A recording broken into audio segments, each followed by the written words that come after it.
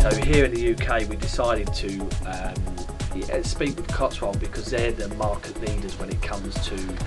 um, camping, sleep bag, all the kind of bits that you might need for the outdoor adventure.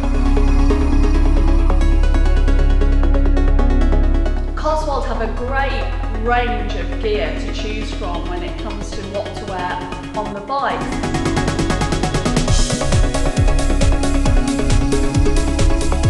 and the guys at Cotswold are always very knowledgeable with their products and were able to sort of steer me in the right direction.